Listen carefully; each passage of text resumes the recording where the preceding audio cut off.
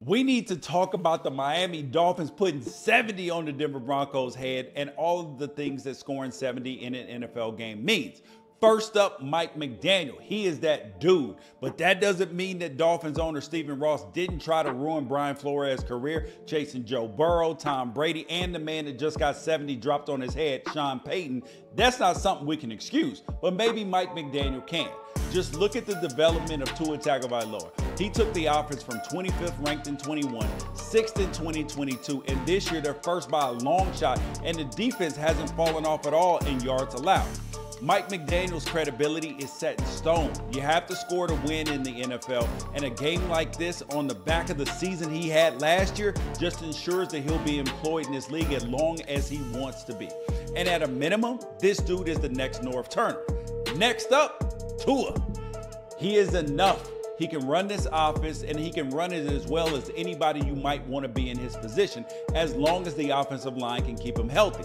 The Miami Dolphins have been desperate for a franchise quarterback since Dan Marino as much as any other franchise over the last 30 years outside of the Chicago Bears.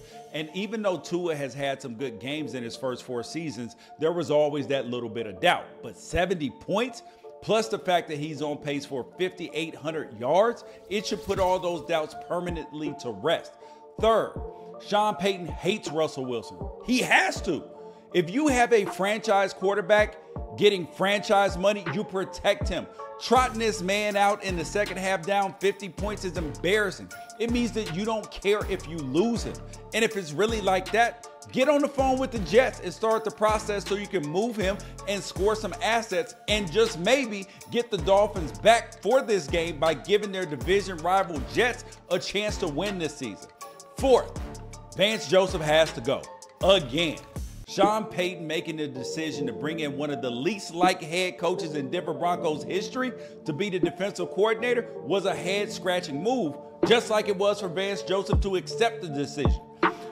Denver Broncos head coaching history is a long list of extraordinary winners. Red Miller, Dan Reeves, Mike Shanahan, John Fox, Gary Kubiak kept this franchise relevant for an overwhelming majority of four decades.